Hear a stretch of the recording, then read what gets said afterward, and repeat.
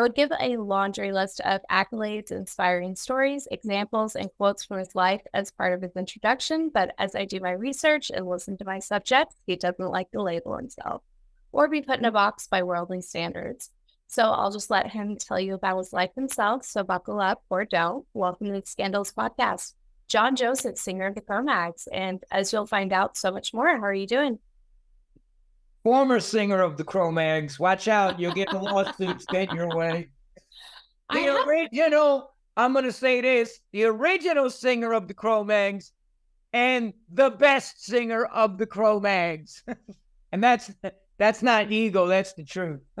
so, whatever. All right. You were you were the one I chose. There was an option and I could have gone either yeah, way. I chose you. Fucking whatever. Yeah. You know, everybody could say whatever they want on social media now. It's a shit show, but the truth is the truth, you know. So yeah. Glad to be here. Hope you how, how you doing?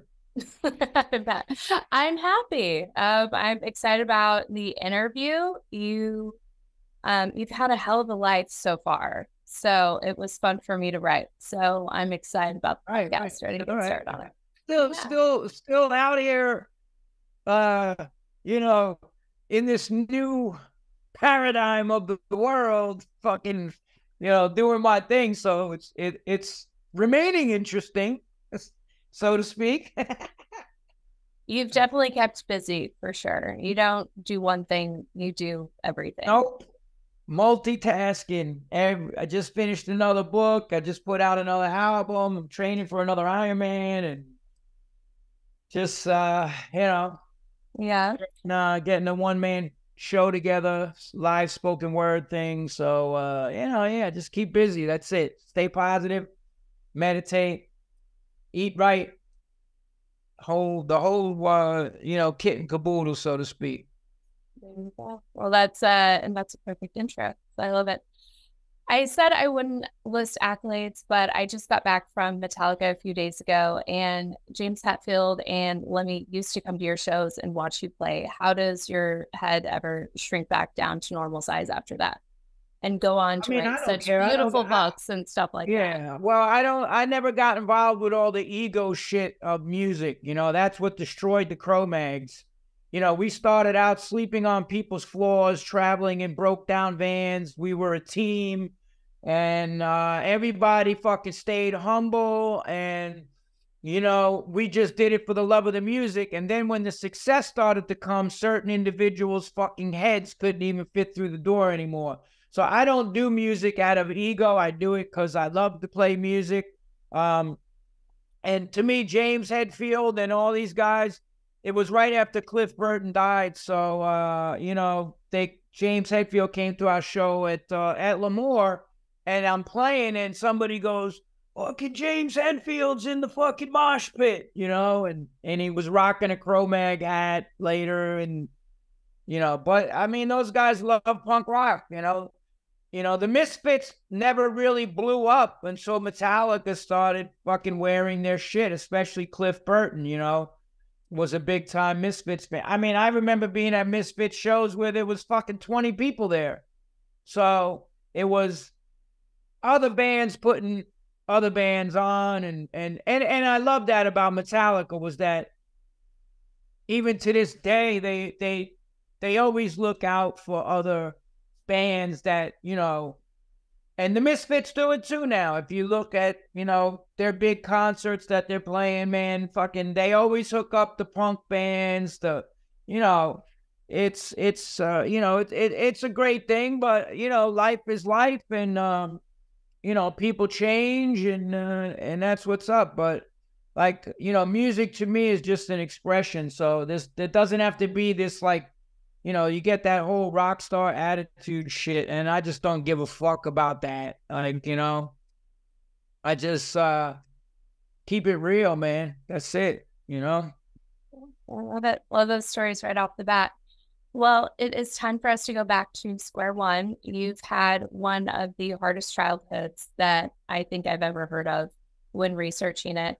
And I won't shy away from talking about the hard things because it's an example to others that on the other end of turmoil and deep pain is peace and ascension.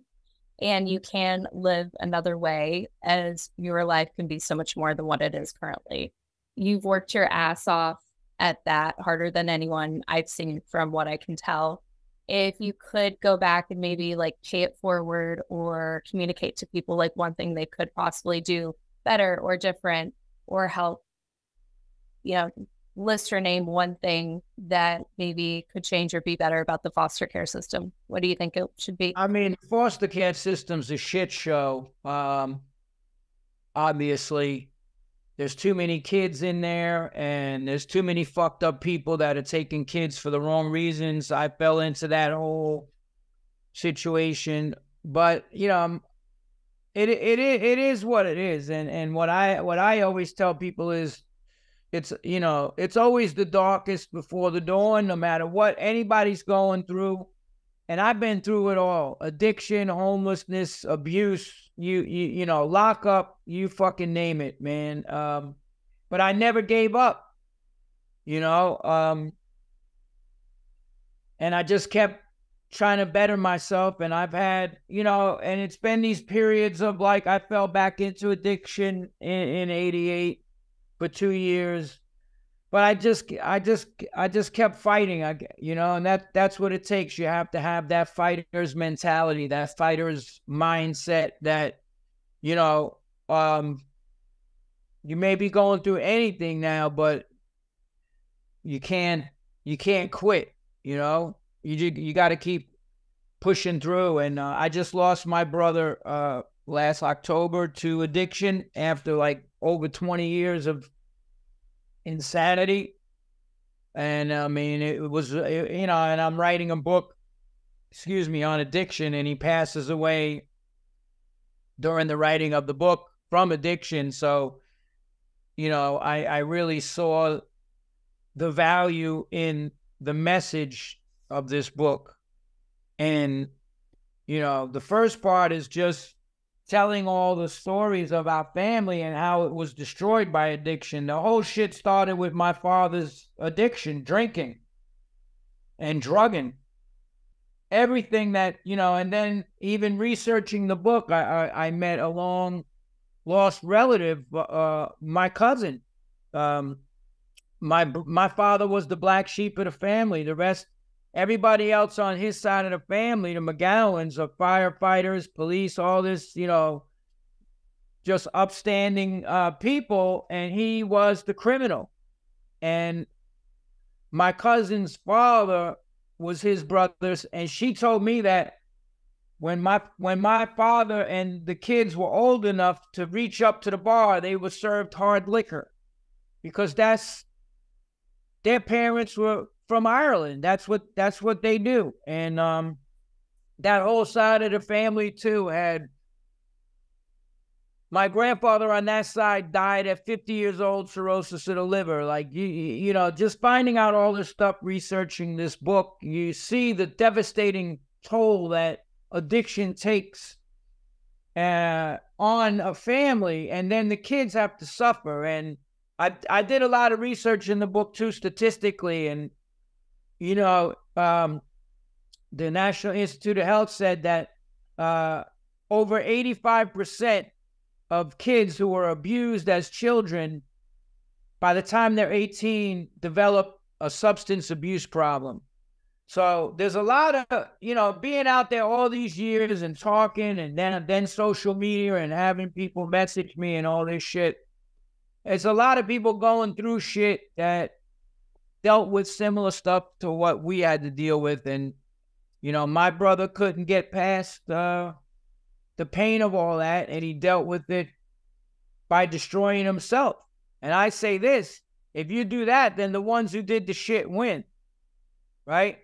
They won. If you destroy yourself and fuck your life up, then the motherfuckers that did all the shit to you as kids, they win. And I gotta tell you something else. I went back to that foster home after I went to do a reading in Long Island, like a town away from where those foster parents were.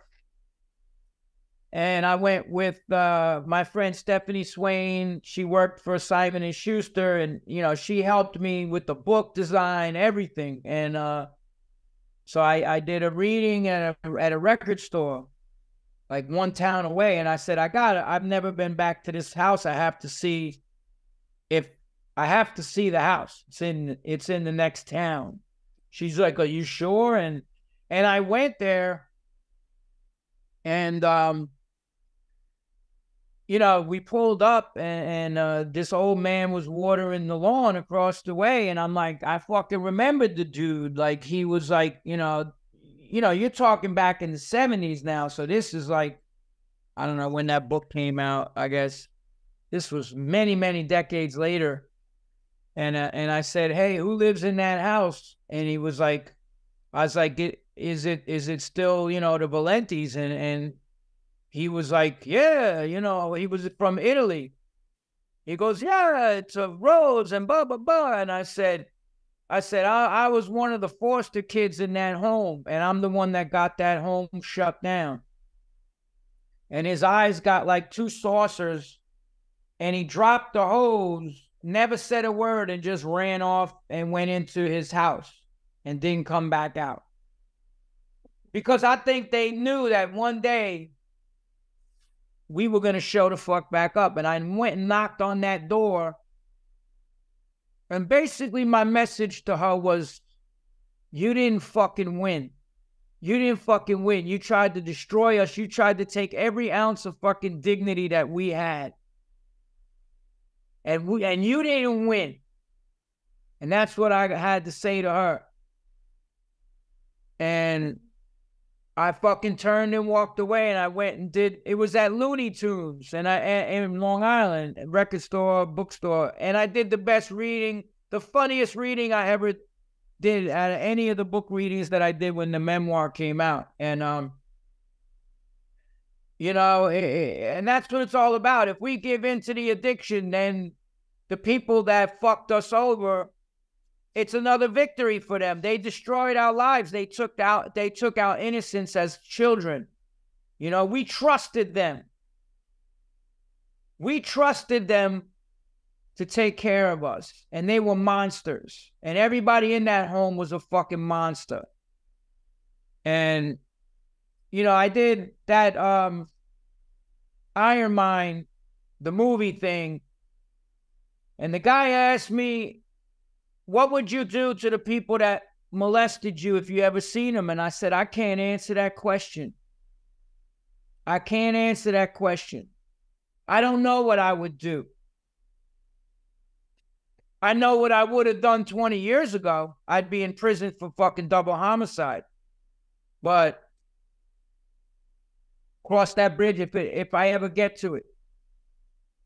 I will confront them, but uh you know, and I'll tell you something in, interesting. Interestingly enough, it's it it's cyclical addiction, and it runs in the families.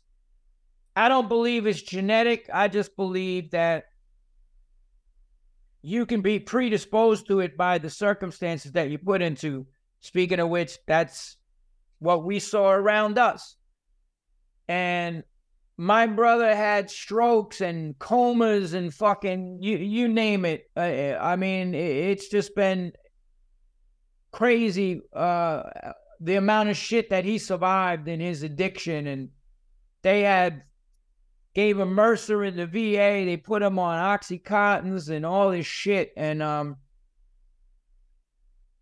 so he had to get another surgery, but he was addicted to pills and drinking. So with his heart being what it was, they had to uh, put him in a medically induced coma and detox him before they could do the surgery. So he went up to the Finger Lakes um, VA hospital.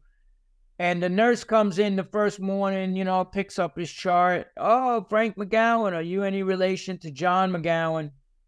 And um, he says, Yeah, that's my brother from the Cro-Mags, you know. And she goes, No, not John McGowan, John Emil, John Joseph McGowan, he said. And she said, No, John Emil McGowan. And my brother was like, That's my father.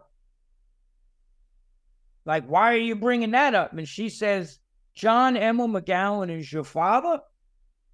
And Frank says, Yeah, that's my father. I ain't never seen him since we were kids.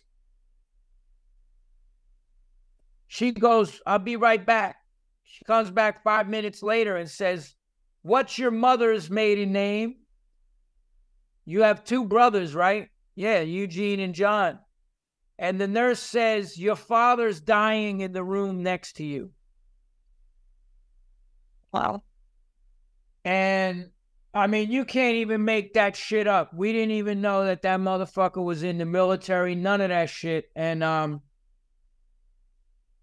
he called me from the hospital and told me that shit after it happened. And basically, he's wanted to send in when he found out he want he was dying and and he tried to send in a priest to ask for forgiveness and all this shit. My brother said, "Fuck him, tell him to fucking burn in hell for everything he did to my mother." And um that was that and he he passed away. So when Frank got out, they gave him a paper bag of all my father's remains. Nobody claimed his ashes when he what was in that paper bag was a filthy pair of sneakers, a filthy pair of pants, a filthy t-shirt, and a half a pack of camel non-filters. He died alone, he died homeless. And I said to Frank, what are the odds that your father that abandoned you and did every single fucking thing that you did, that you've done in your life, you repeated what he did is dying in the same room next to you. You couldn't fucking write that in a movie and anybody would believe it. And I said, that was God, that was the universe, that was whoever holding up a mirror to you saying, this is where you're headed. Wow. And that's exactly, I mean, his wife died in his arms of an overdose. He had a meltdown. I had to do my first intervention on him was in, in 2001. September 10th, I had to go to Staten Island and he was in somebody's fucking attic dying. I fucking dragged him on the ferry back to New York City, made made an appointment. Uh, the next day, he was going to fly down to St. Thomas to a rehab that our friends uh, ran. And what happened September 11th, 2001? The fucking 9 11. I couldn't, he couldn't get out. He detoxed in my couch, going through all this shit that crying and and just everything we went through as kids. It all came out. When I couldn't get him to Florida, I couldn't get him down there for three weeks. And I said, Frank, you did the same shit. Even after his wife died in his arms of an overdose, I, I had to fucking get him in Jersey and take him to the VA uh, on 23rd and 1st. He fucking left the next day. And he went right back to the house where she died. And I said, You're you're doing the same shit our father did. You abandon your fucking children. You're a fucking violent alcoholic. The whole shit. The whole shit. You did the you did the same exact thing and you're gonna die. And he died alone. Sadly, he died alone. And you know, just thinking of what he went through at those last moments of his life, the fear of calling out for somebody to help him, and he had a massive heart attack. But you know, it it is uh it is it is what it is. I mean, you know, when you had already bad health and then you took something else that ain't fucking healthy for you, uh, that that was the fucking that was it, man. That was that was that was the the end of his ride. And every day I write, every day I wrote, that's my brother. I keep his picture right here. And my brother would give you the shirt off his fucking back. My brother helped so many people, but he couldn't turn that same help to himself. He couldn't show that same compassion to himself and fight that disease because it is a disease. So that's, you know, the the book uh, has a lot of deep meaning for me because I, I I lived it and the craziness and all the crazy situations. I was a violent drug addict. I, I wasn't one of these like you know begging for fucking change on the sidewalk. I was still banging out three four hundred push-ups a fucking day and going to rob drug dealers in Alphabet City and the Lower East Side to get my shit. I had people put KOSs on me, kill on sight. They were like, we're going to kill that surfer looking motherfucker when we catch him. So that was my whole experience. The, like the book that I wrote and the experiences that I went through and the insanity of this lifetime was all a result of it started the inciting incident of my whole journey, just like they say, writing a story has five parts of story design inciting incident, progressive complications, crisis, climax, resolution. The inciting incident in my story is my father's drug and alcohol use and the night that he broke in and fucking beat my mom down so bad he almost killed her. And then it was, they fucking, she spun into depression and they, they took us away. So you know, and it's just been fighting through all of that shit and then finding punk rock in the 70s and the Ramones and the Sex Pistols and the Damned and all this shit and and and how that message resonated with me. Fuck the system. The system fucked me over. The system, the child care system, you you talk about foster care, they failed us. No fucking social workers came, nobody did check and balances. If they came, they said, hey, we're coming every three, four months, and they let you know, they let them know, I'll be there next Thursday. Well, for that whole week, they put the fear of God into us and beat the shit out of us that if we said anything, we were gonna be fucking eh, put in a fucking mental institution or whatever. The shit that the shit that we had to go through. So that's why I took my chances and I got locked up. I did almost two years of 21 months upstate three in Spofford, 20, like 20 months upstate, almost just short of two years. Went out onto the street, caught another case. I'm, I was a drug addict when I went into the Navy. So all the people that are like, yeah, he fucking went AWOL. I was, I was, I caught a drug case in Norfolk, Virginia. I was, I had a drug business in the Navy. I was smuggling in the Navy and had a drug business and they caught me and I was facing federal time. I'm a kid that's been locked up my whole life. I said, no, I'm not going back to prison, and I split. But I turned my life around from that point, meeting the bad brains, 1980, and all that shit. I got off the drugs. I got off all that shit. I turned my life around. I went and lived. I was the first person to live as a monk in the in in the hardcore scene or punk scene. I did. I spent two years in a temple. No. So trying to better myself and deal with these fucking demons that I had my entire life. So anybody could criticize. It's like they say, talk shit when you walk the mile in somebody's shoes. Until then, shut your fucking mouth because you don't know what people go through.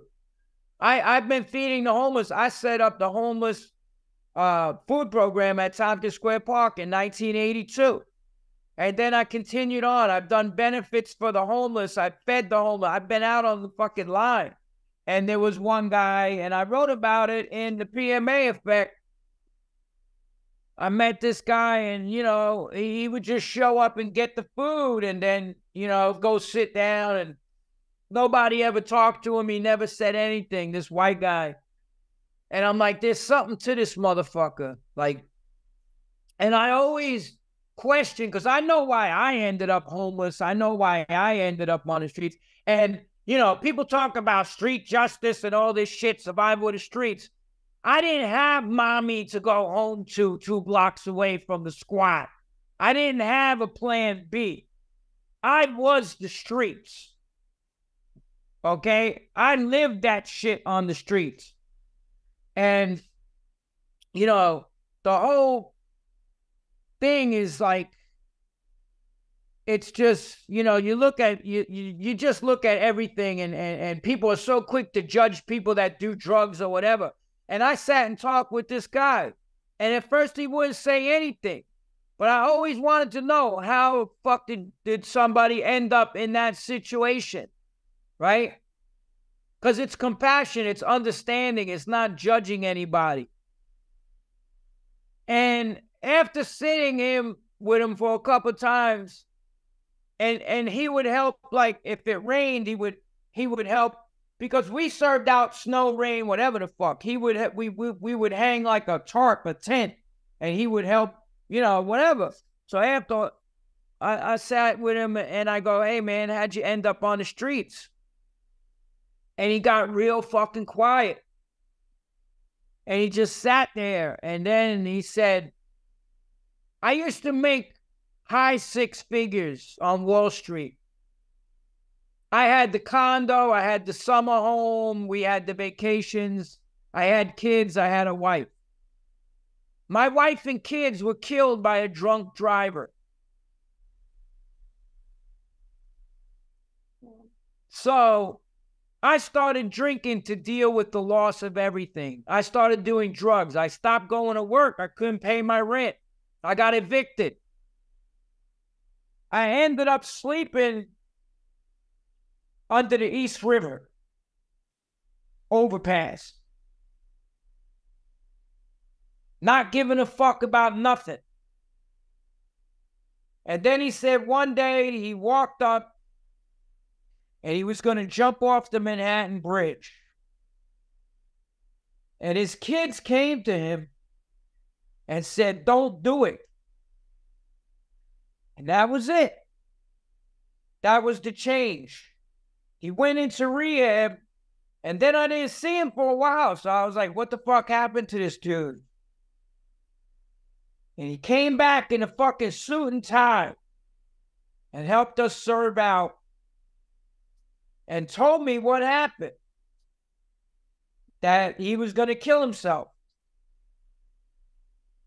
He built his life back up, got a job, stopped getting high, went to rehab, did all that stuff. So that's what I said. When people want to judge my brother or anybody that's, you know, even Todd Youth that was in Bloodclot, so before you judge somebody, walk a mile in their motherfucking shoes. And I'm just going to end with that. Because I've been out on the front lines. I fed KRS-One. KRS-One talks about being fed by the Hare Krishnas in the shelter on 3rd Street. I was the one that said, hey, let's go distribute the rest of the food from Tompkins Square Park at the men's shelter. I'm the one that fed KRS-One when he was a homeless fucking kid in the shelter. They called him Hare Krishna Chris. Go watch his video about how he got his name. That's what he says. The Hare Krishnas used to come and give me the vegetarian food, and then I read the Swami's books. I've been out there doing this for fucking decades, meeting with these people, never felt, oh, I'm some rock star. No, I'm I'm on the fucking level of anybody. Everybody's one paycheck or one bad event in their life happening that will fucking put them out on the street. And now with all this shit going on with this chaos and this government and taking people's rights and everything, people are gonna start fucking snapping and losing their shit. So don't judge anybody because you don't know what a motherfucker's been through. And I always said that too on the streets. You mind your P's and Q's in New York City because I knew motherfuckers that wouldn't say nothing, but if you fucked with them, they would take your life in a second. That's who I grew up with. That's who I I grew up with maniacs in the 70s, murderers. So all of that shit came as a result of the drugs. That's why I, I don't even take a sip of fucking alcohol on New Year's Eve now. Nothing no drugs, no alcohol. Eat right, meditate. My mind's right. I study, I do research. I re- I got six, I just wrote my sixth book. I research everything I talk about. I don't just put speculation out there. And it's the same shit with my views now. I don't need some obese motherfucker eating McDonald's telling me what I gotta do to protect his health. Fuck you. Go to the gym and stop eating shit.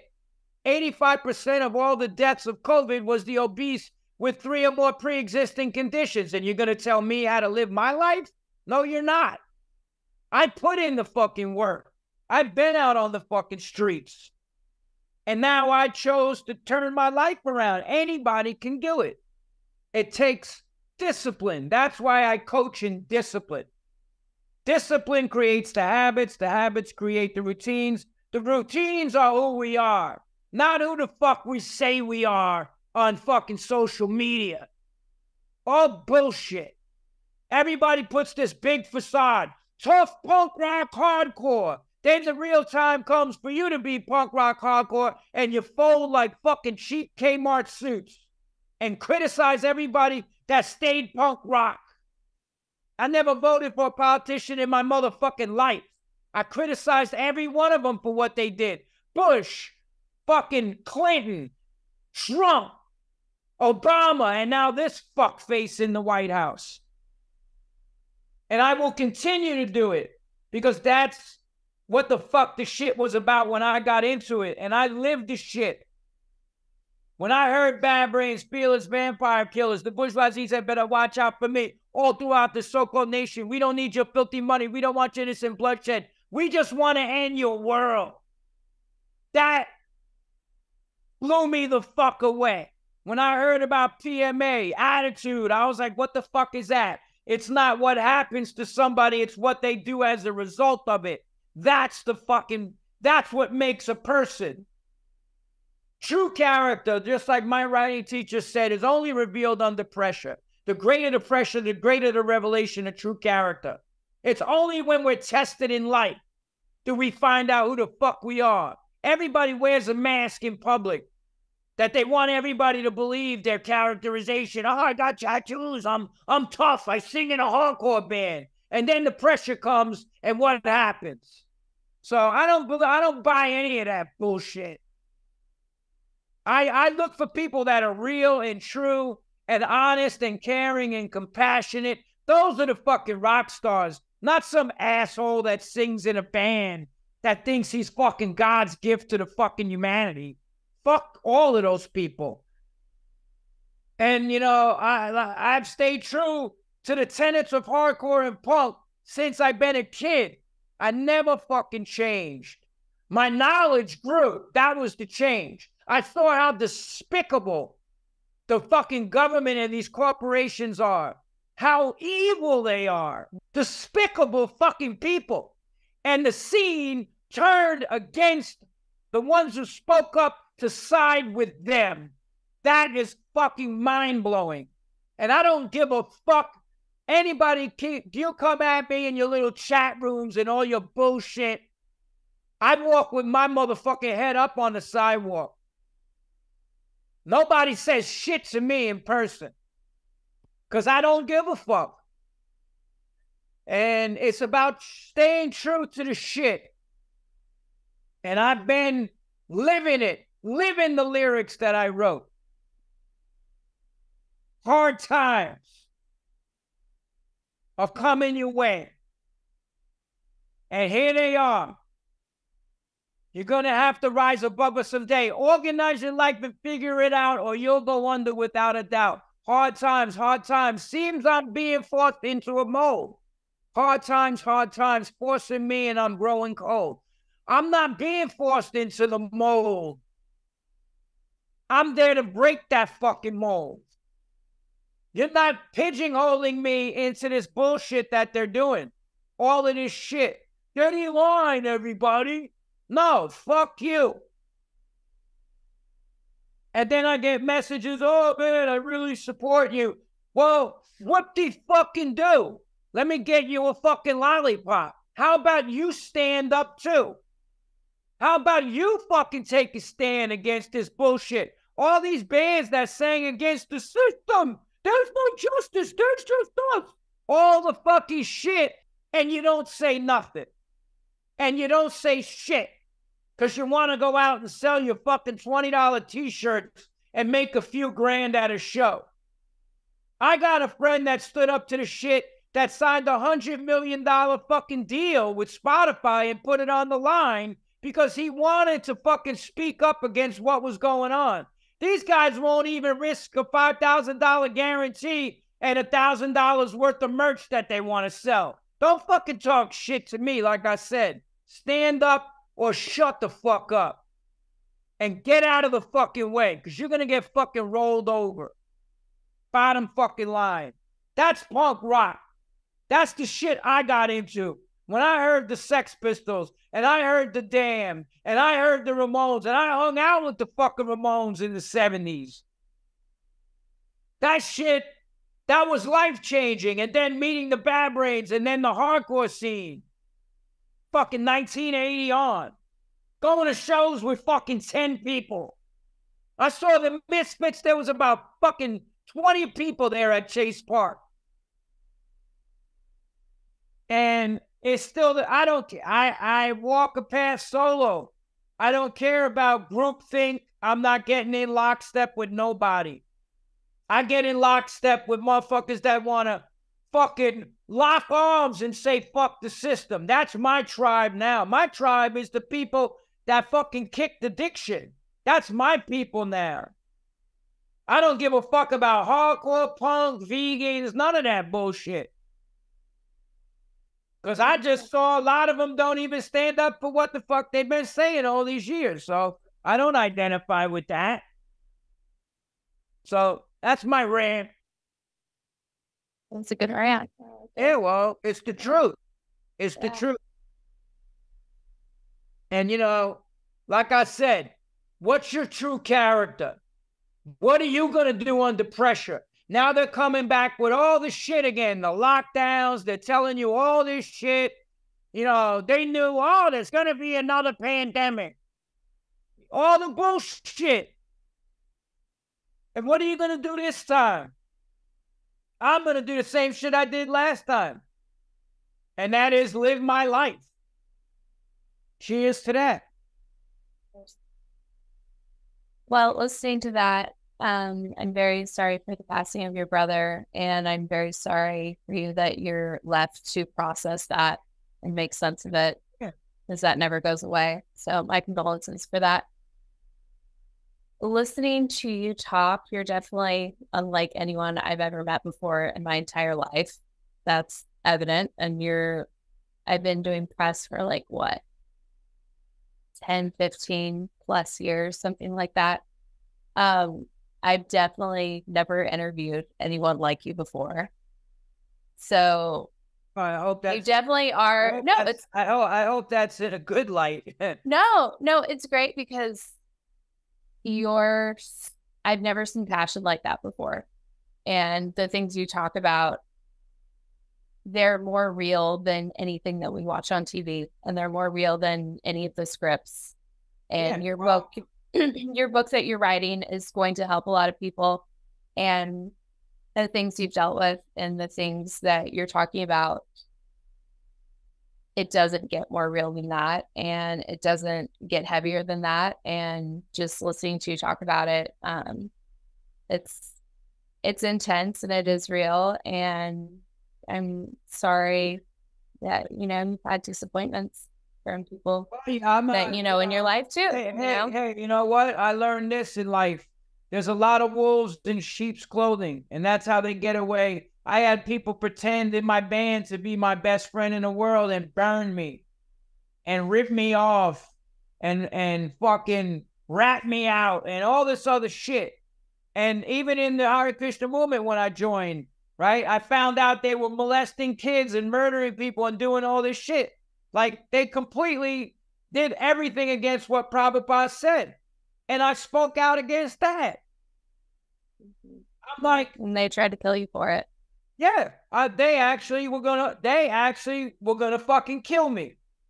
The dude who I exposed for selling drugs and cocaine and running guns and all this shit what, says, hey, you know, come down and work on these condominiums with me in, in Virginia, acting like everything was fucking cool. And, you know, so I was thinking, hey, all right. You know who told me not to go? Googy from the Misfits. Arthur, who was in, also in uh, antidote. He goes, dude, you just did all this press exposing them. That guy had to resign. You exposed him for being a drug dealer and a rapist and all the rest of the shit. He's not inviting you down there. They're gonna fucking kill you and he's gonna shoot you in the fucking head and bury you in a fucking shallow grave in the woods. If you go down, you're not coming back. Artie saved my fucking life because I didn't go. I wouldn't be here doing this fucking interview today. A lot of situations, the higher power, Krishna, Kshirodakshayi Vishnu, the Lord in the heart, whatever you want to call it, gave me the clear sign not to do something. And if you do this, you're not coming back from it. There's always been, no matter all the asshole shit that I've done in my life, and I'm not innocent. Trust me, when you read this book on addiction, I take full responsibility for my fuck ups. Full responsibility. I own it. I own my fuck ups. There was always somebody watching out for me. There was always a guardian angel there looking out guiding me and eventually helping me to kick the shit. And, you know, the disappointments are always going to be there. That's the material world. You know what my teacher Prabhupada said? Prabhupada said, don't be surprised at the ones that go, be surprised at the ones that stay. I didn't realize the depth of that statement until I've seen friends no longer be friends, do fucked up shit over money or anything like that, or drugs, or the government, or punk rockers, or hardcore people, or whatever. Well, hardcore don't mean you go to a show and you do your little fucking moves and you have your fucking festivals and it's all the show. Hardcore is a motherfucking mindset. Punk rock is a mindset. I've met more fucking punk rockers standing up against this government and what they've done in the last three years than I've ever met on the fucking scene. The little old lady down the road from me who grows her own organic vegetables and, and told the government to fuck off and supports no politicians is more punk rock and hardcore than half of the motherfuckers that's on the scene. You know, that's the way I see it. Because that is what determines who the fuck you are. What do you do when the pressure comes, like I said? And you're always going to, you know, you can't have high expectations of people. You have, you know, I, I, I still remain in a position of, of, okay, let somebody surprise me of like, okay, wow, hey, that person, that motherfucker stood up. Ah, all right. But as far as like getting bent out of shape,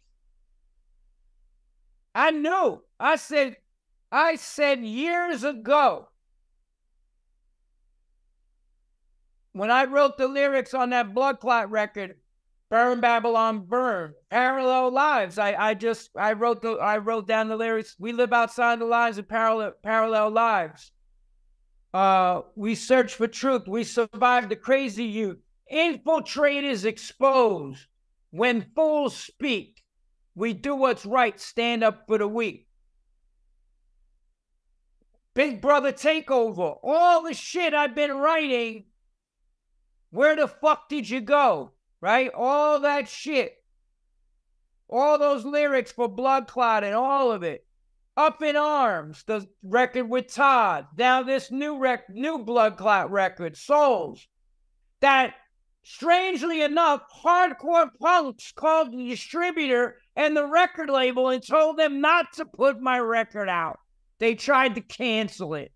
And it was still number one in fucking Europe. It's yeah, that, that's wild. Unbelievable. Yeah, that's wild.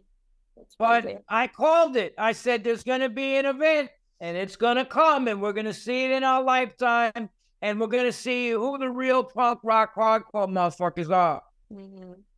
You know, but uh, it, it is what it is, man. I'm just going to continue doing what I do. I'm recording new music uh, probably in the fall and see what happens for next year playing. Uh, I got a one man show coming, I got a book coming. I'm I'm writing a punk rock comedy. We'll see what happens with that. Cause like, you know, fucking the whole way the film shit is going right now, they're all on strike. Cause, you know, just like the music industry fucked over every musician, now they're trying to fuck over all the writers and the actors and everybody else. So who knows where, you know, AI and all this other shit.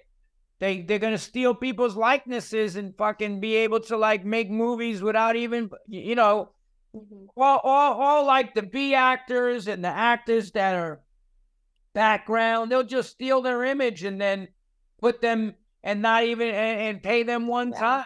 And it's just like the streaming services, right? With the music. Nobody's getting paid right now. The record companies designed another way to fuck you over. They're streaming the movies now too. So it's like yeah. Nobody's getting paid. The studios get paid.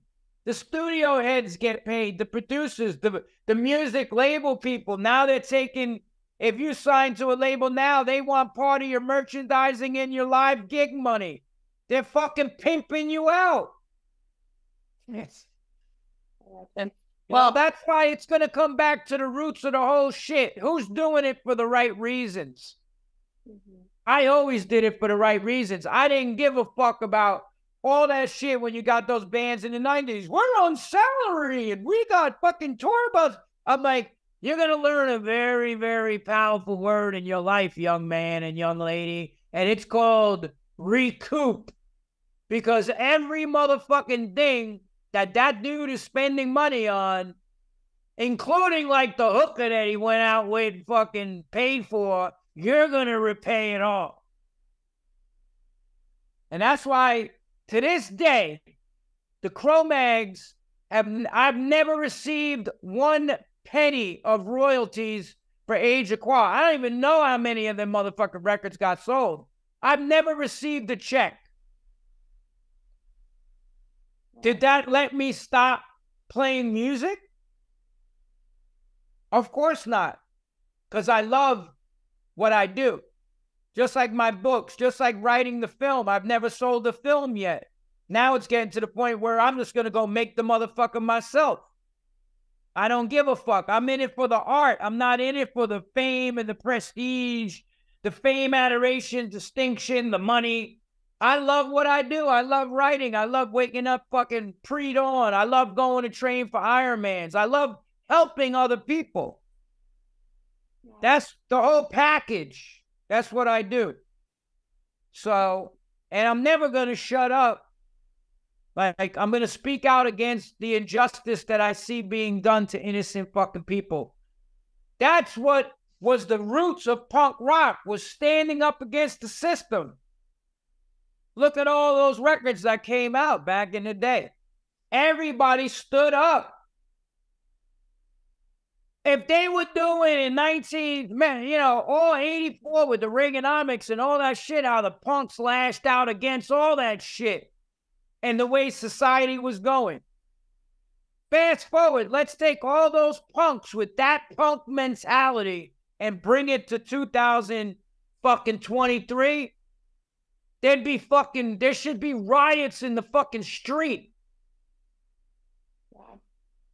Riots in the street of what these motherfuckers are doing to humanity on this planet right now.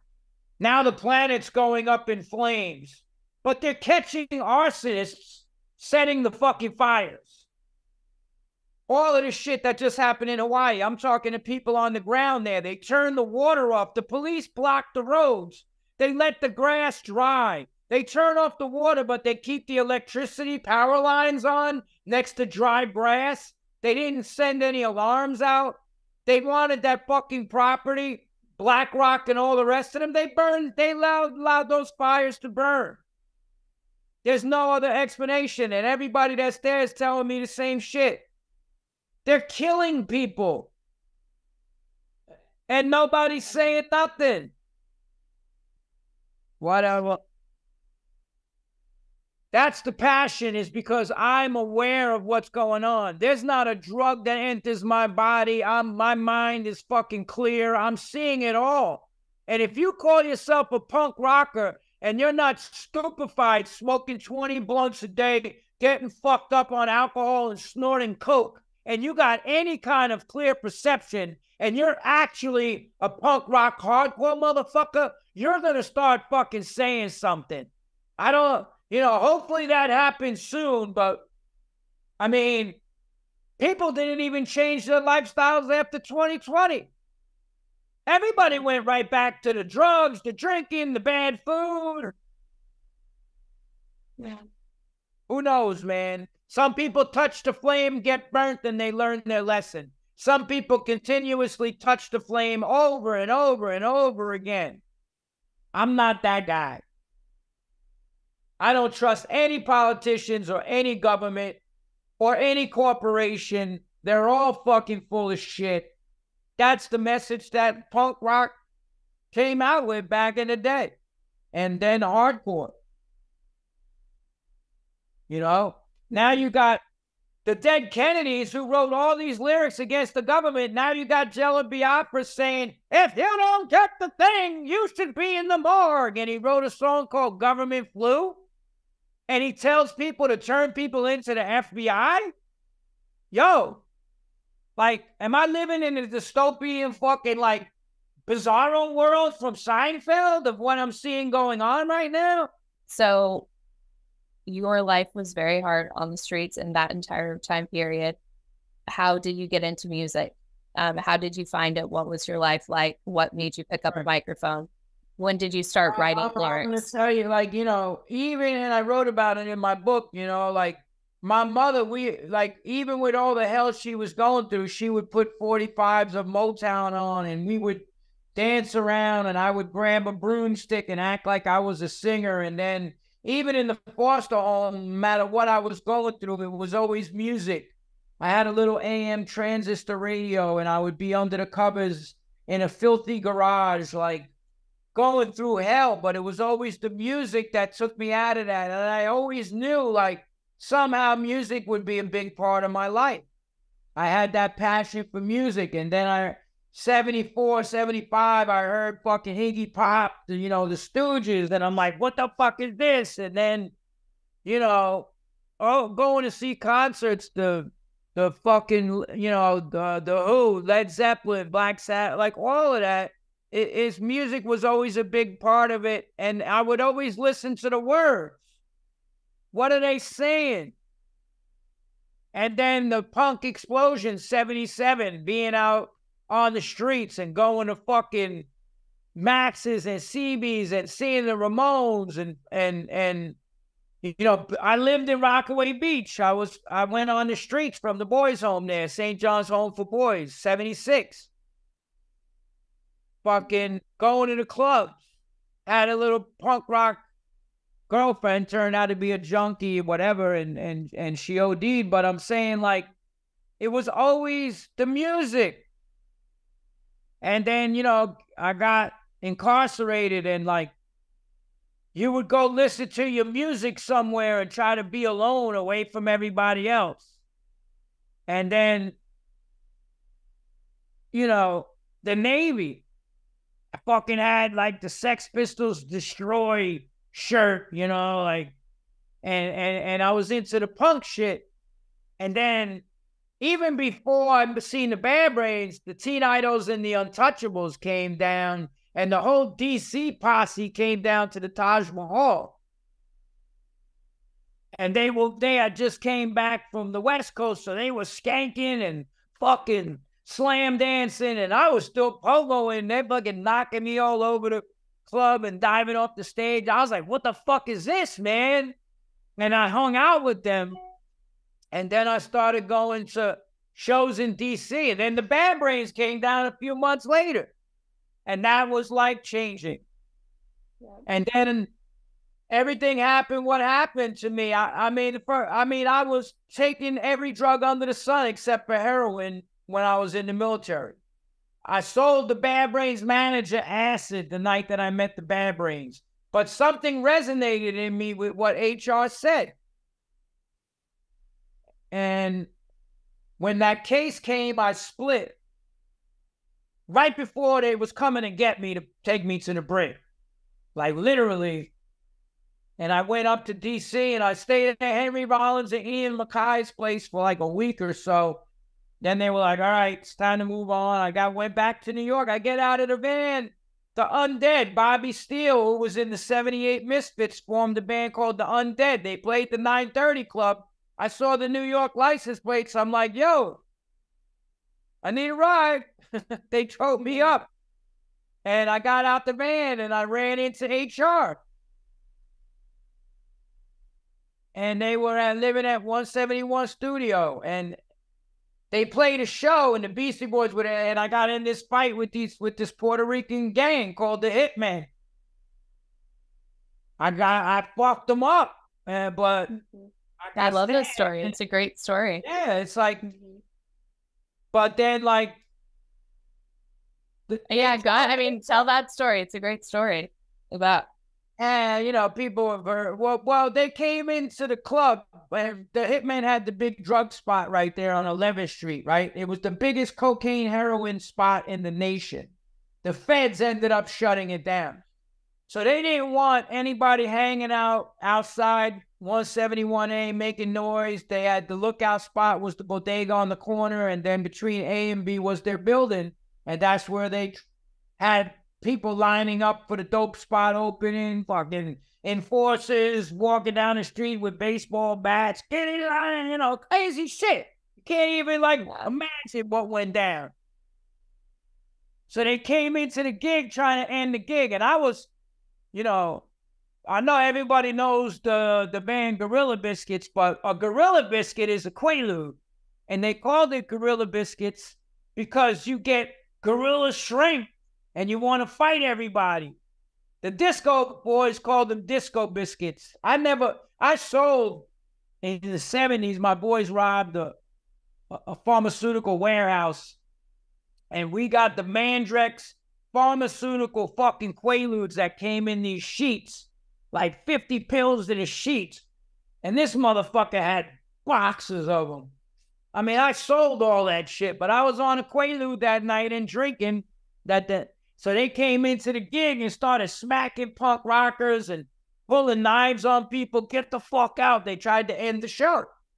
So the Bad Brains are playing, and the dude I got in the fight with, Crazy Eddie, tried like, you know, goes like that. And I was like, I said, if you do that again, I'm gonna fuck you up. Like, you know, and then he didn't, you know, Bad Brains are playing. So it's like craziness, chaos. So I went over to J Dubs, who was the producer that recorded the first Bad Brains Raw cassette. And they did it at that studio. And, and I said, yo, let's get these motherfuckers. Why ain't nobody fighting them? And J Dubs was like, yo, who was the first guitar player on Bloodclot? He goes, don't do nothing. Those guys are murderers. They kill people. They're a fucking drug gang. So then they basically ended the show. Everybody went out to the sidewalk. They're smacking people. Get the fuck out of here. Beastie Boys were there. So some people stayed in the, were scared to go onto the streets and leave. They stayed in the, inside.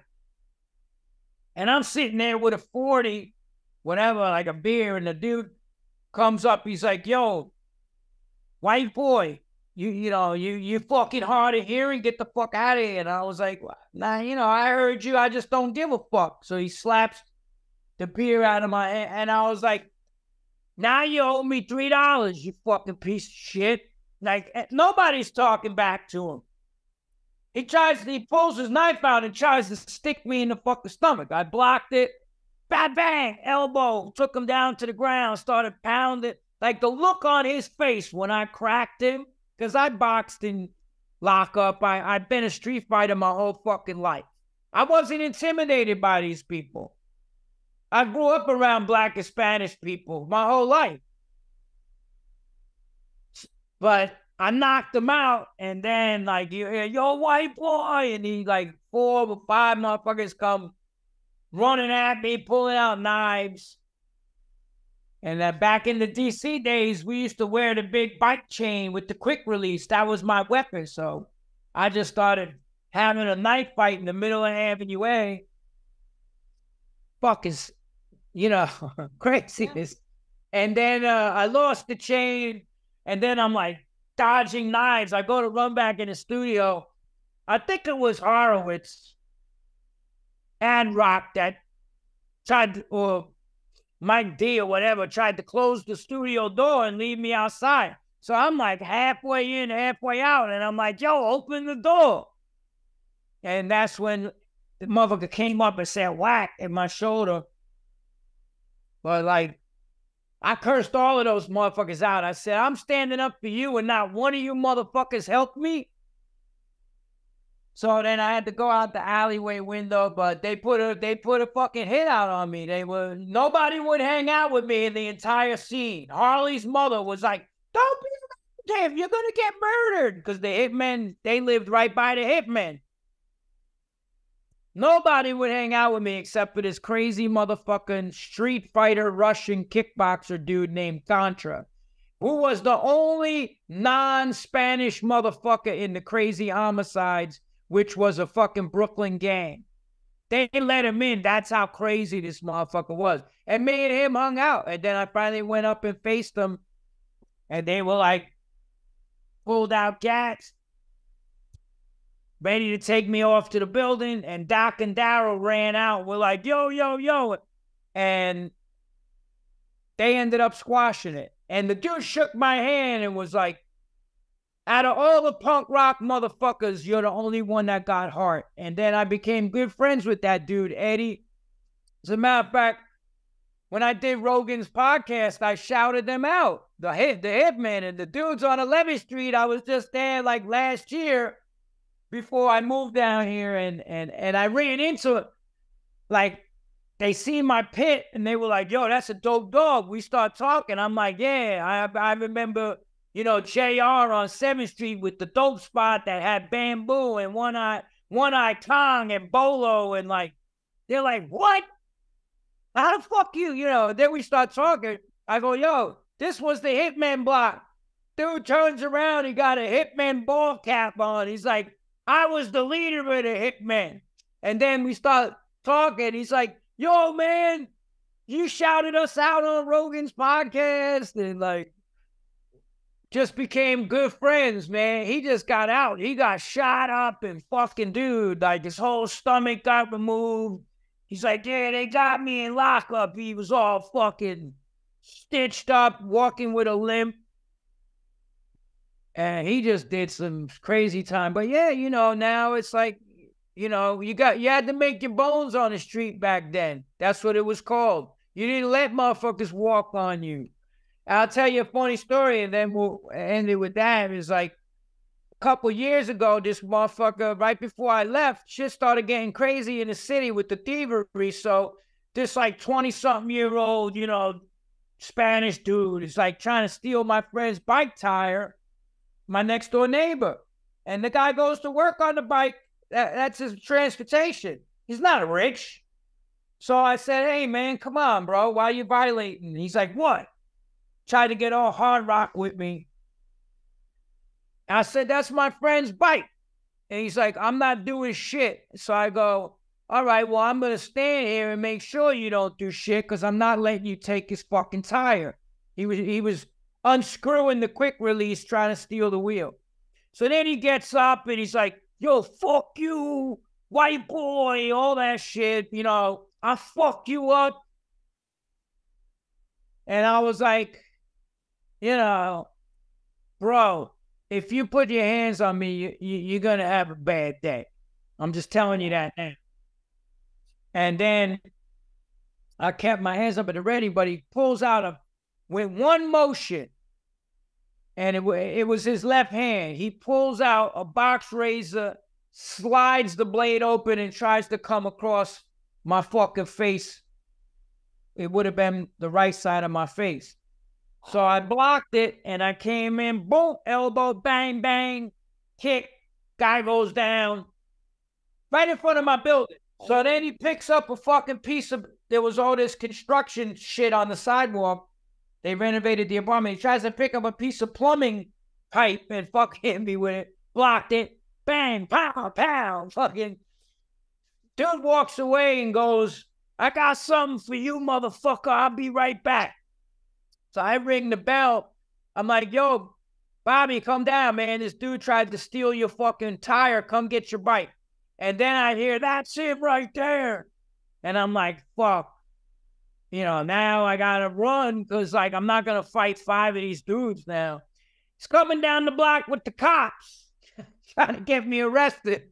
And then the lady in the laundromat goes, no, no, he tried to stab my son. Because the lady came out and she's this old Bulgarian lady. And she tells the kid, she goes, you better walk away. My son goes to gym every day. He gonna kill you. She's telling him that. So then the cops come get up against the wall because he was fucked up. They was gonna lock me up. And then I said, and then the woman said, no, no, he tried to slice him. And then the cops go, all right, both of you are getting locked up. And I go, put me in the fucking cell in the tombs with this motherfucker so I can finish the job. So then he was like, no, no, I don't want to press charges. I was like, well, I'm not pressing charges either, and whatever. The cops were like, I said, he been stealing all the bike parts off this block. Everybody's been getting their shit robbed. It's him. They go, call us if he comes back, we'll lock him up. I said, if he comes back, I'm gonna put him in the fucking, I'm gonna put him in fucking Bellevue. So they leave. Two months later, I see this old school head from the fucking hitman coming down the street that I know from back in the day with that kid. And he's like, yo, what's up, man? Like, fucking. And, he goes, yo, man, me and this dude, we go way back, man. This was the one white boy that would fucking fight anybody and all this shit. I never said, like, and he and, and he introduced me. He goes, "This is my nephew," and I go, "Yo, how you doing?" Right. So the guy, the guy is the guy I beat down, and he's like, you know, I didn't say nothing. I didn't blow up the spot. And, as they're walking away, I go, leave them bikes alone. and he's like, but you know, it's just that was part of the culture of the street. So when you get a lot of people singing lyrics now and they don't live it. So there's no, there can't be no passion behind it. If you don't believe in what the fuck you're writing about, and if you didn't live what you're writing about, you know, the audience is going to smell the lie. That's why when the Cro-Mags came out, and not only did we have that street culture, we had that higher consciousness. We got to know malfunction. It's the limit, street justice, hard times. It was like, that's why, that's why it was real. It was like we were living the shit. At least a couple of us, anyway. I mean, you know, Mackie lived uptown, Parris got rich parents that paid for everything. But like, you know, me and Harley lived in them squats, man. So mm-hmm. like the shit came the shit came off real because it was real. It wasn't faking the funk like they say in hip hop. It was like, you know, when you go through all the shit, especially me as the front man and having to relay my experiences through song, the conviction is there. And HR was the first person. I was trying to be a drummer at 171.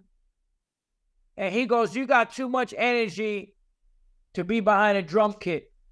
And he was the first person to put that mic in my hand. And that's when the Cro-Mags first was, uh, the Cro-Mags first rehearsals for six months was Dave Hahn, who was the Bad Brains manager, on drums. Hold on, I'll show you right here because this is the proof from the big takeover fucking fanzine. Cro-Mags, 1981, ended in August, rehearsed for months. Harley Flanagan on bass, Dave Stein on guitar, Dave Hahn, Bad Brains manager on drums, John Skinhead that's what Jack Rabid, who did the big takeover, called me.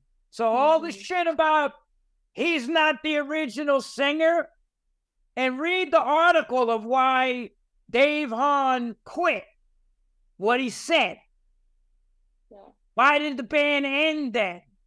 And he said, I'm not somebody's doormat that somebody in this band, and I can't say his name because I'll get sued, will disrespect and treat like shit.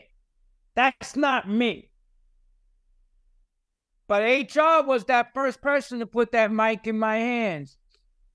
And then when the Cro-Mags broke up, that same fall and winter, we formed Bloodclot and went out, I think it was November of 81, after the Cro-Mags ended in August. And we formed as the Bad Brains Roadies. So we formed before then with uh, Papa Chubby Teddy um, being the bass player. But then we went on tour with this band called Crucial Truth on down south. So we hired their bass player, uh, played bass with us, but it was me, J Dubs, who did their sound, and then Alvin, who was the other roadie, was um, the drummer. And then we got the bass player from Crucial Truth, and that we did the whole Southern stuff, and then came back up and played Irving Plaza. And there's a tape of us playing, and somebody yells out from the crowd. You hear it. They go, "Tattoos are for jocks," because I was inked up.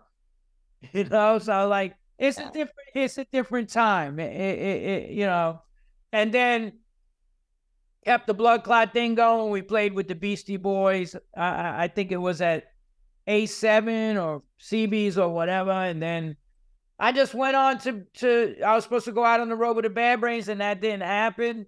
And then I I just 82. I just went and, and I was a month. I went I went to Hawaii, and uh and then came back and like I said, original singer and the best because not to take anything away from Eric Casanova because he wrote lyrics and he he so I saw Harley when um I was out with the Krishnas in 83. I came back to New York early 83 and I was living in the temple and I was going to the park and feeding people.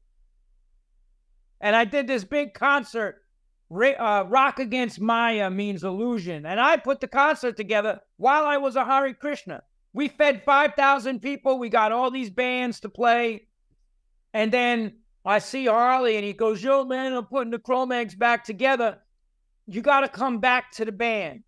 So why would he say I got to come back to the band? I, just like the fact that I even have to say this shit like 40 fucking years later is ridiculous, but that's the lies that get told and I was at the first two shows that Eric sang for the Cro-Mags, if you want to call it that, because he sat on the drum riser most of the time and didn't even sing. Harley fucking kicked him. So after the second show, he was fired. And then Harley wanted me back in the band, but Parris wanted Roger from Agnostic Front. So we had to audition. I was like, why do I got to audition? I, I'm in the band before this fucking guy, Parris, or whatever he called himself at the time, Kevin. And um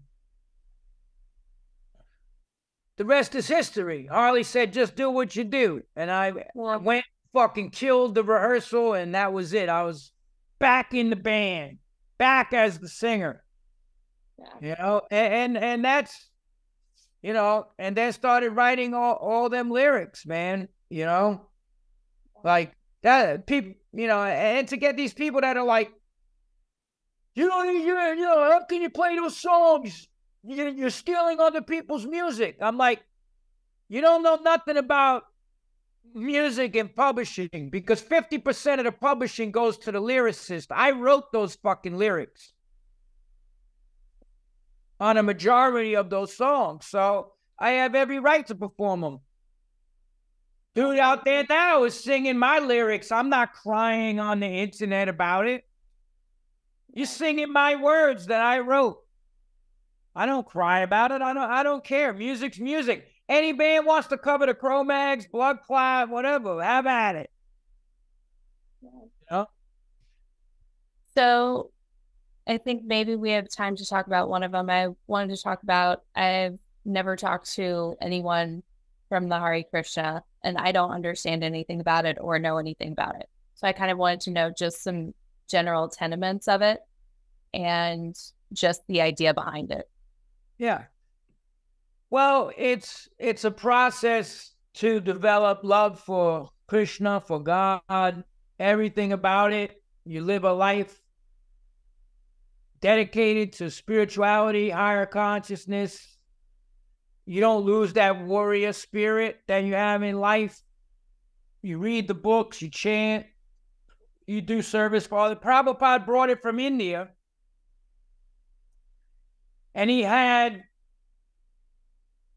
disciples that were snakes.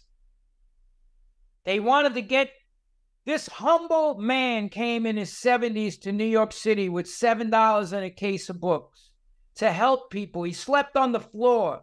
He cooked for everybody else before he took one grain of rice. He went out into Tompkins Square Park and chanted congregationally with the with the hippies and the beatniks and all the people of the Lower East Side. He gave everything of his life to other people. And then the movement started growing, and those same disciples started figuring out a way to get Prabhupada out of the way. And as Prabhupada aged in life in the 70s, they started poisoning him. They were giving him cadmium because they realized he was not going to allow them to be his successor. He didn't appoint any successors. You got guys that are having all kinds of sex and fucking drugs and doing crazy shit and stealing. And then they come to this movement and they get some knowledge and then they think they're better than Prabhupada. And that's what they did in the movement. But I came in 1980 uh, after Prabhupada. They, they disobeyed everything that he said. But mm-hmm. I, I was a real monk. Like I, I, you know, what Prabhupada gave to the world. If you research his teachings and, you know, he he translated. He's in the Guinness World Book of Records. He translated more of the Vedic, ancient Vedic books than anybody. So, for me, when I joined, it was real, you know, and I live by that. And that's that's another thing that I fight against to this day. As a matter of fact, the big spin article came out in the 90s. I mean, they they molested and raped children and did like the most despicable things, just like all these other religions, like the Christian church. And that's the thing that got me because when I started hearing that the kids were being molested, nah, I'm getting these motherfuckers. I'm going to expose them. And it's a beautiful thing. And that's why, hey, to this day, I still chant. I still read Prabhupada's books. I wanted to ask about your daily routine because you said, I was listening, is it like 108? Like you chant for two hours or you did at yeah, some point or something like that? You know, the 16 syllables, Hare Krishna, Hare Krishna, Krishna Krishna, Hare Hare, Hare Rama, Hare Rama, Rama Rama, Hare Hare. There's 108 beads on the Japa Mala, so you do that on each bead, and then you that's 108 mantras, and then you do that 16 times throughout the day. You read, you do service for other people. Bhakti yoga, Bhakti yoga is about the, it's the yoga of devotion. So you're sir, you're helping other people. There's compassion you know, so that's I get up early before the sun and I meditate, I chant, I read the books, I write, I train, I I do what I do. I moved to Florida now, you know, and, and it's for the training because, like, hey, I live in a Hare Krishna community. I don't know what these knuckleheads are all talking about. All right, I had to go to Trump country. I live in Alachua. I'm in the Hare Krishna community, which I've been planning to move down to forever.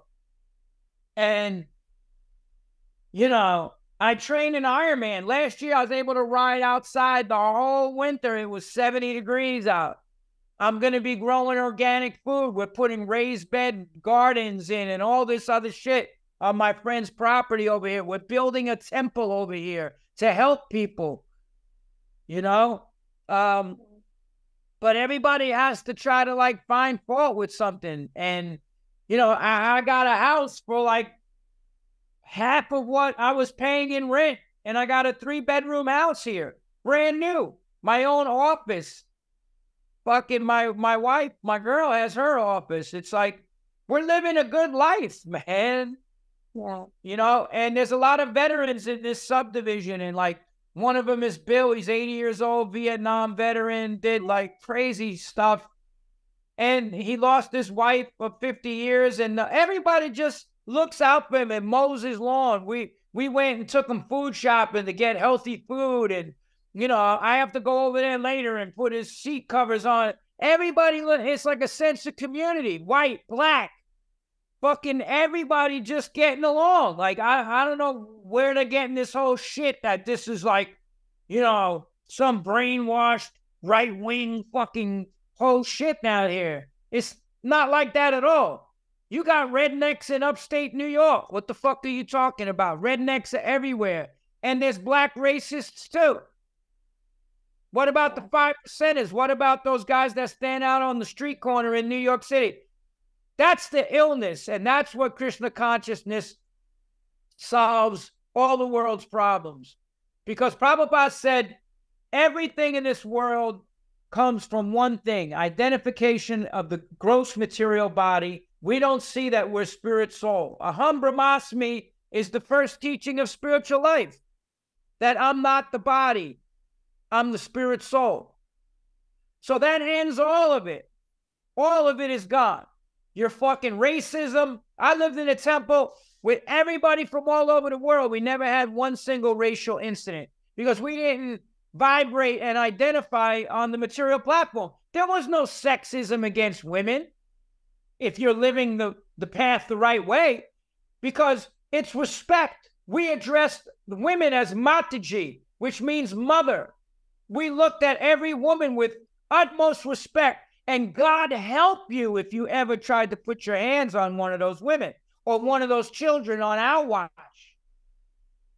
You're going to get the fucking karma. But all of this, like, I identify as this and that, and all this fucking insanity that's coming now, it's all Maya. Because the minute you say I'm not the body, it's all out the fucking window. I'm not white. I'm not black. I'm not a man. I'm not a woman. The spirit soul has none of those identifications. It's a spirit soul. And when you actively live your life on that platform, all of the nonsense goes away. All of it. That is the peace formula that Prabhupada talks about in his book, The Science of Self Realization. What's the peace formula?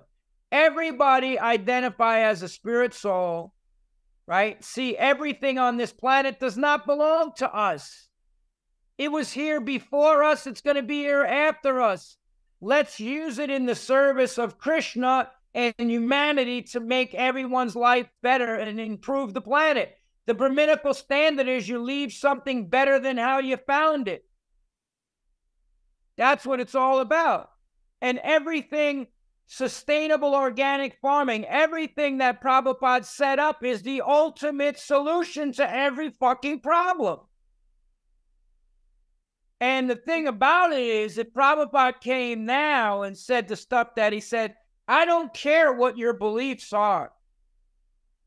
Like Prabhupada said, this is from a, a, a self realized soul that if we stop the murdering of unborn children and we stopped killing billions of animals, there would be peace on the planet. I don't care what you believe.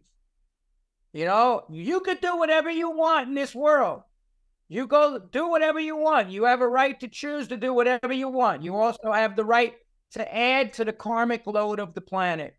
And you know what? If everybody followed the Garbhadhan Samskara and followed the principles, there wouldn't be no unwanted progeny. It wouldn't happen.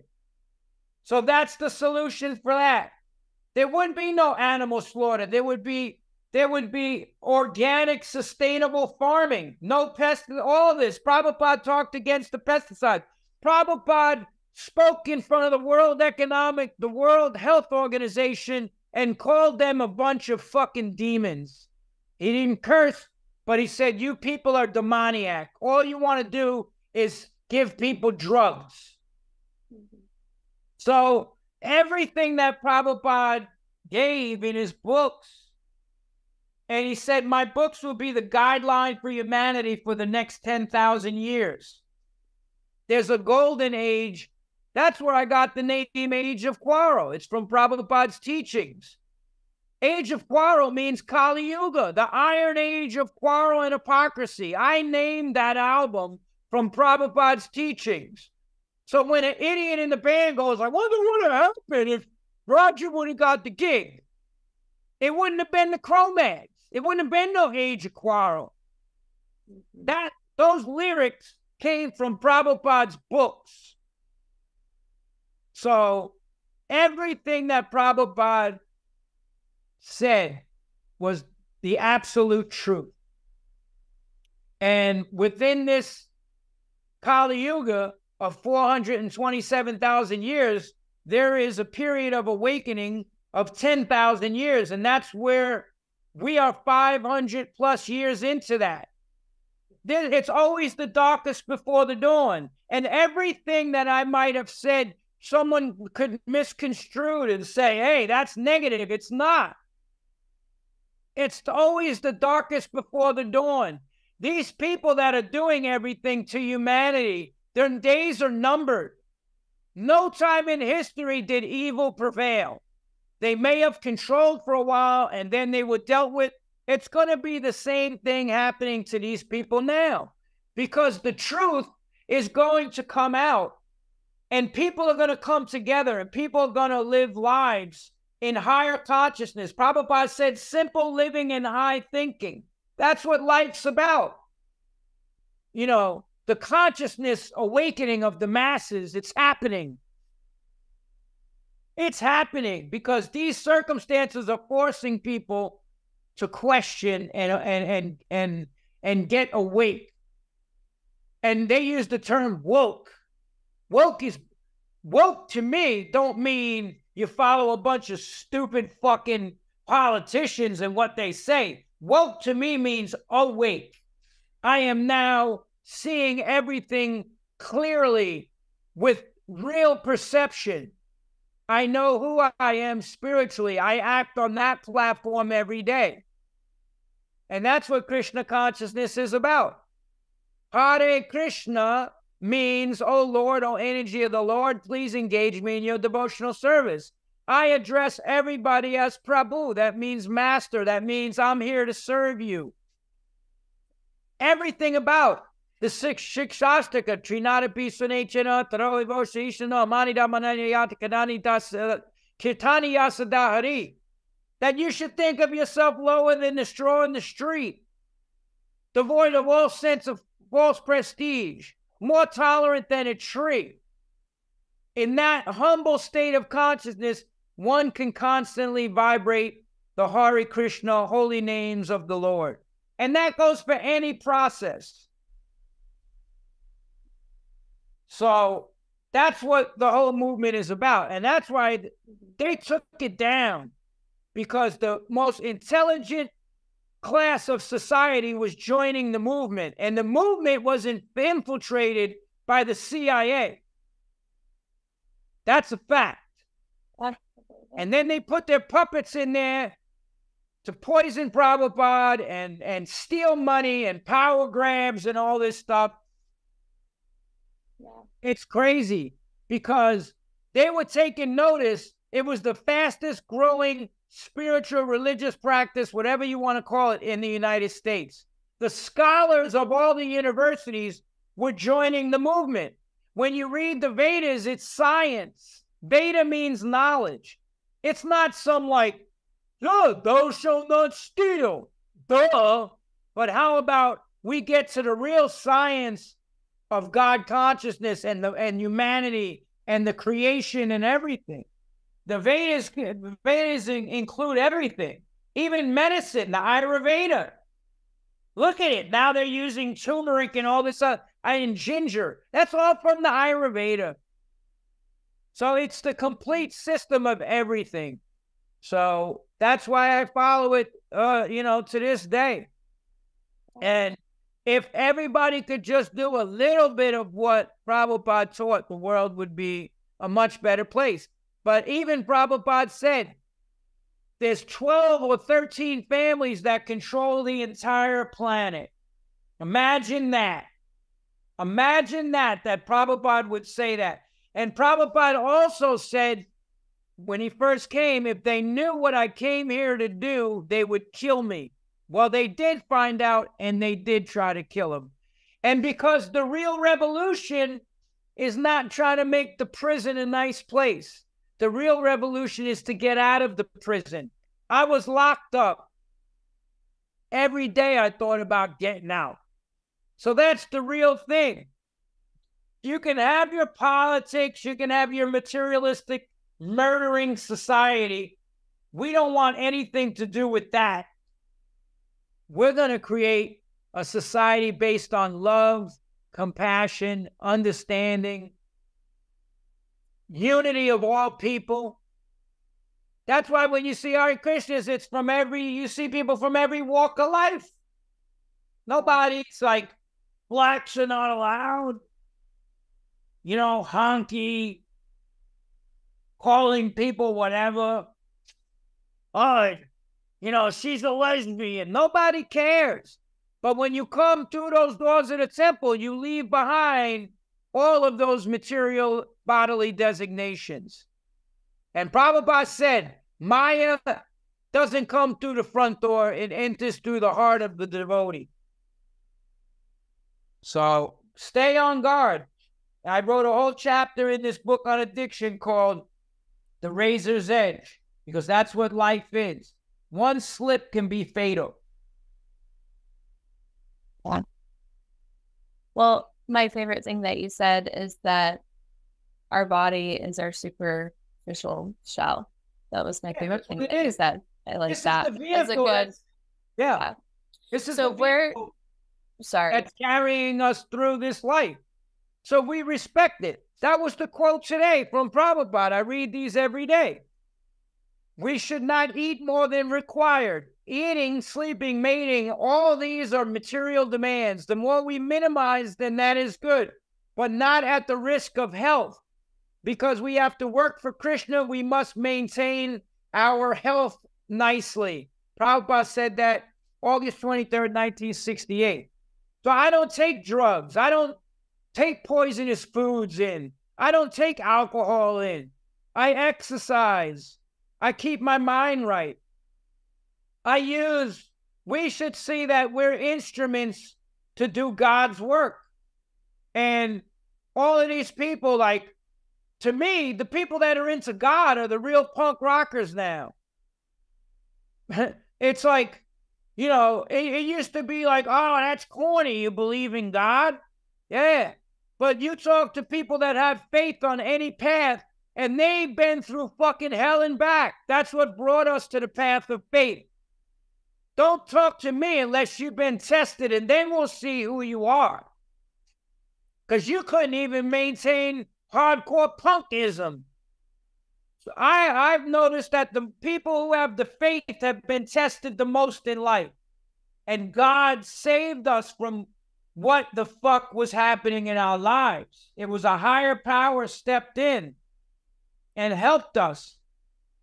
And there was one atheist, he wrote all these books on atheism, and he got kidnapped for money and put in the trunk of a car. And when the police finally caught his captors, he came out and said, Burn every book I ever wrote. Because every day I was in that trunk, in that dark space, I prayed to God to get me out of that situation. And when I was locked up and all this shit happened to me as a kid, and the fucking being molested and fucking the streets and the drugs and getting shot and fucking like my girls died, all the shit I've been through. When I was in Spofford and I was locked in that, I, you know, you got to walk around in the yard and be like, you know, I put a chair across the first motherfucker that fucked with me. They, they nicknamed me Mighty Whitey in Spofford. I was the only white kid there. But when I got locked in that cell at night, the tears came and I prayed to God, why the why am I having to be put through all of this? Where what's going to happen in my life now? Where am I going? And God answered that in the years to come and directed me on the path. That breadcrumb trail led me to where I was at, led me to Prabhupada, led me to the bad brains. The bad brains is what got me into spirituality. They got me a job at the health food store. Me and HR, the whole time they did ROIR cassette, we would meditate and fucking run and and go to the park at sunrise after recording, and he'd be reading me the lyrics that he was writing for the fucking songs and seeing there the energy. It changed my fucking life. That's why I got the passion I do today. I was in it for real. My whole fucking heart and soul went into this movement. That's why I get fucking pissed off when they try to destroy it and turn everybody against each other. And the guys that spoke up are the bad guys now. Well, you you're a fucking right wing conspiracy theorist. Fuck you. That's why I get pissed off. I gave my life to this shit. 43 fucking years now. Always helping people. Somebody needed a benefit. There I was. Whatever the fuck it takes to help people. When I made my money, I built a yoga center that fed the homeless on St. Mark's, and I did all the construction myself with other people and my friends and maintained it for 10 years. I gave $400,000 of my money. I put my money where my fucking mouth is. I raised $100,000 for a kid with cancer. I've done countless benefits. And everybody in the hardcore scene donated to that too and helped out. And then to see all this shit go down and they have to destroy the movement like they destroyed the Hare Krishna movement. I just hope people start paying attention and start coming together, man, against the real enemy. Fuck all these politics. Politics ain't gonna solve nothing. Politics don't solve nothing. It's ring wrestling. It's the WWE. Yeah, you got the right wing, you got the left wing. It's both the same bird. They're laughing, having drinks together. Look at Obama hanging out with Bush, a murderer. Obama and, and Obama too dropped more fucking bombs on anybody, on children and women than any president in history. That motherfucker dropped so many bombs, the Air Force ran out of bombs and everybody gave him a pass. It's our guy. He plays basketball. He's a bro. Fuck that. You don't get in that office. Trump, too. All the right wings rallying behind them. It's all to divide the people. If they keep the people divided, they stay in power. If the kids are united, we will never be divided. Remember all the lyrics everybody's been chanting at concerts. I say, pay attention to the malfunction. I just can't get through to you no matter what I say or anything I do. It seems I'm fucking talking to a wall. That's why I'm so passionate about the shit. You came after the shit that I gave my life to. I get and, and, and Hare Krishna too. That's why I've been fighting with these devotees. They killed people in the Krishna movement that spoke out against these bogus people that are doing all this shit. They murdered them. They stole billions of dollars now. And there's a group of devotees that have been fighting them and speaking the truth, and they came to get them. So then I stepped in with all my friends who are way better fighters than any of these fake tough guys in the Hare Krishna movement. And we stopped all that shit. You don't t- you don't put your hands on nobody. And it's the same with the hardcore. So when you think that a few words or whatever you're going to say against me after everything I've been through, you want to cancel me? I had motherfuckers try to cancel me in real life. I had people try to murder me on the streets, in lockup. You think words? You're over there with your fucking keyboard commando shit, saying shit. That don't fucking bother me. I'm gonna still speak the truth. And I'm gonna speak the truth about Hare Krishna, about hardcore, about what the government's doing, all of it. That's what I do. It's what I've always done. I'm like, it's common sense, man. Instead of going off the rails, sit back and analyze things, man. Meditate. That's what I do every morning. I get up and I meditate and I chant and I read philosophy. And that's what life has to be about. And then I look, who can I help today? Who every every every message that somebody sends me, man, I'm I'm going through. I just got one yesterday. I'm fucking struggling, bro. I got seven days clean. I fucking sat there fucking 20 minutes on the phone with him. I don't know him. But that's what it's about. And that's what I'm always going to be about. So, you know, I don't care, you know. Anybody can say whatever they want. My track record speaks for itself.